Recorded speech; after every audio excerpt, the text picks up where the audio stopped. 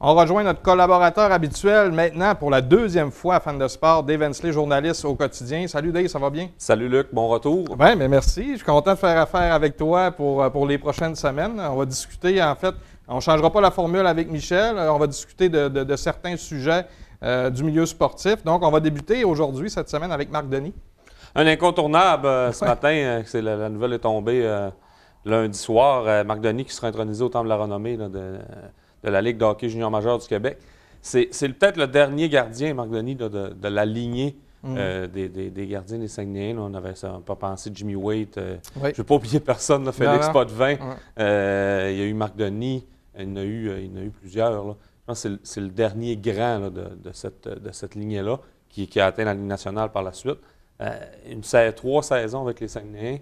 Et puis, euh, ça s'est terminé avec une participation à la Coupe Memorial. Pas de victoire. La dernière participation, euh, justement, au tournoi canadien pour les sacs.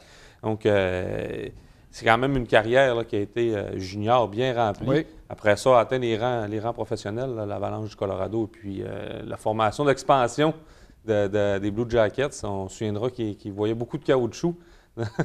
C'était pas... facile. Je pense qu'il y avait au-delà de 40 tirs par, euh, par match. Effectivement, et même, je pense qu'une année 76 ou 77 de départ. Donc, on l'avait envoyé vraiment dans la fosse au Lion euh, à un très jeune âge. Euh, ça, sera, ça sera terminé avec le Canadien par la suite, quelques années plus tard.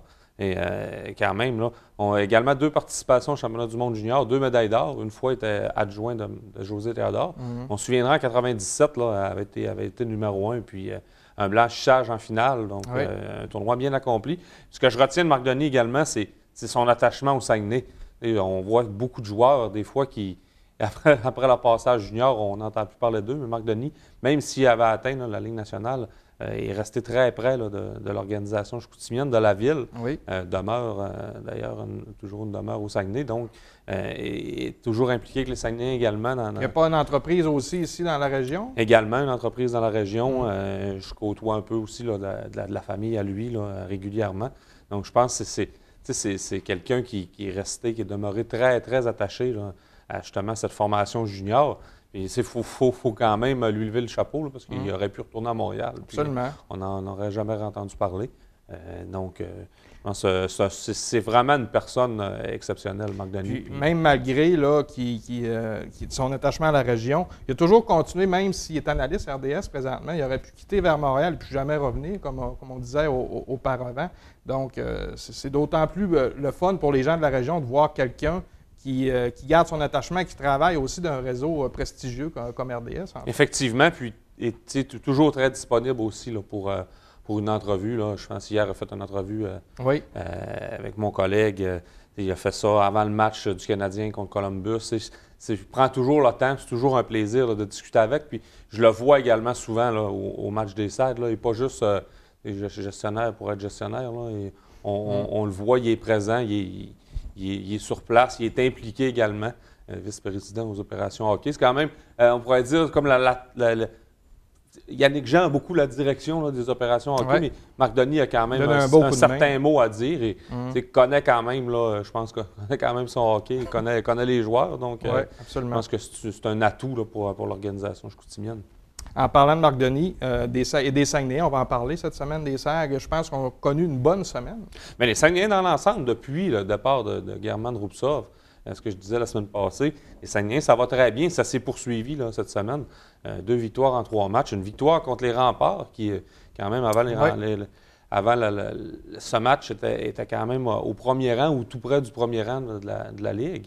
Euh, on a profité peut-être des largesses du gardien adverse, mais, mais quand même, Kotka, Vladislav Kotka avait un premier tour de chapeau dans la Ligue de hockey junior majeur du Québec. Mhm. Euh, le lendemain, ça a été beaucoup plus difficile à, Rimouski. On, le sentait parce que c'est une certaine fatigue. Euh, je pense que c'était cinq matchs en huit soirs avec le voyage de Maritime en Abitibi. Donc, c'était peut-être pas des circonstances habituelles. Mais on est revenu du côté des Saguenay avec une victoire dimanche. Une victoire quand même qui était euh, importante contre les cataractes de Shawinigan qui, qui tentent de demeurer là, dans la course pour les séries éliminatoires. Même si on, approche le mois de décembre, on voit quand même une course destinée peut-être à trois ou quatre équipes pour euh, ce fameux 15-16e rang. Donc, euh, les, points cumulés pour les SAG au mois de novembre auront certainement une importance au, mois de, au mois de, À la au mois de fin, mars, à la fin de la saison. Puis euh, on, on a joué un match là, pratiquement impeccable du côté des sacs dimanche. Euh, la Vigne, deux buts, puis euh, une victoire de 5-1 contre, contre une équipe, là, les Cataractes, qui, sans Samuel Girard, C'est pas facile. hein. c'est, la transition est vraiment Mhm. très difficile. Puis, est-ce que tu penses, quand on parlait de Rupsov, est-ce que tu penses que est- et- était plus un- une distraction qu'une aide, en fait, pour l'équipe? Bien, effectivement, c'est- jamais facile, tu sais, un, un joueur comme, comme German Rupsov, qui, est, qui un Européen, mais lui, il est ici, il veut gagner, il veut bien pareil. Là, il se retrouvait un petit peu dans une équipe en, en reconstruction, sans, sans aide vraiment. On voyait que c'était peut-être un petit peu difficile dans son, dans son cas. de- Il n'avait peut-être pas le désir non plus là, de traîner cette équipe-là là, sur, sur- sur ses épaules. Donc, on a pris la décision de l'échanger à Batters. Et, et depuis son arrivée à Batters, va, va- va- va très bien. Là, Germain Rupsov, on, euh, il joue, euh, joue avec, euh, beaucoup avec Antoine Morin. Puis, euh, je pense que le Titan a une seule défaite là, depuis son arrivée. Donc, euh, on gagne un échange là, qui est gagnant-gagnant Pour les deux équipes. formations. Euh, maintenant, les Saguenay vont bien. Les marqués aussi vont bien, s'approchent du, euh, du premier rang, en fait, du classement général. Effectivement, le match pour la première place euh, vendredi à Thetford Ouais. est marqué à deux points, mais Ouais. on a deux matchs en main. Donc, troisième victoire consécutive là, pour les marquis vendredi face à Sorel. Euh, on peut dire grand-chose. Les marquis, les saisons se ressemblent. euh, on, le voit, c'est, encore une course à peut-être deux ou trois équipes. Là. Sorel également, Thetford Mines qui seront Rivière-du-Loup, des bonnes équipes, quatre équipes qui seront, euh, je pense, jusqu'à la toute fin, seront dans, la course. Euh, on le voit là, du côté des marquis. Je pense qu'on une, très bonne équipe, une bonne défensive, une bonne on est capable de marquer des buts. Euh, et Cédric Desjardins qui, euh, qui est solide, là, encore une fois.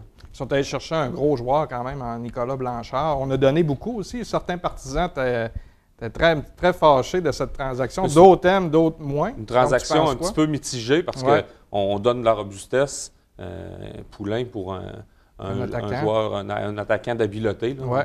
Et on ne sait pas non plus si Nicolas Blanchard, euh, son état de santé, comment ça va. Donc, on, va voir là, euh, pour lui, euh, est-ce qu'il sera capable de jouer euh, rapidement avec les marquis? Un choix de première ronde également, mais je pense que, tu sais, euh, du côté des marquis, on, on veut offrir avant tout maintenant un bon produit au niveau du hockey. Et je pense qu'on le fait très On bien. veut gagner des matchs veut avant les gagner- batailles. là. Effectivement. Et Mm. puis, euh, le, prix, le prix à payer était Poulain. Du côté de Saint-Georges, on, on désirait avoir Poulain pour euh, amener une certaine robustesse. Donc, je pense que du côté des marquis, on, on a senti le besoin de faire une petite mise au point en cette Ouais. semaine. Mais quand même, 1500 spectateurs encore là, au match. même là. bon. Donc, on ne peut pas trop se plaindre.